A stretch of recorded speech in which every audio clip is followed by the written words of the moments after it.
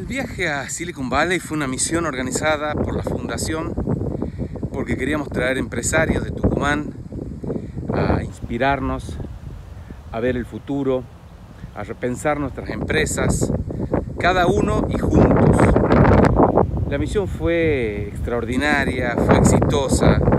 Un grupo, volvemos todos con un grupo de amigos, volvemos verdaderamente inspirados, aprendiendo formas de pensar negocios, formas de pensar los modelos de negocios, volvemos eh, aprendiendo de cómo manejan eh, el management, cómo manejan los recursos humanos, las grandes empresas. Es verdaderamente inspirador, donde tuvimos la ocasión de, visitar las empresas más icónicas de Silicon Valley, que, y creo que Silicon Valley es el Grecia de hace 2000, el Atenas de hace 2500 años, es Florencia de hace 500 años, hoy Silicon Valley, aquí es donde se, se juntan los talentos de la humanidad para, para, crear un mundo distinto y fue una experiencia extraordinaria.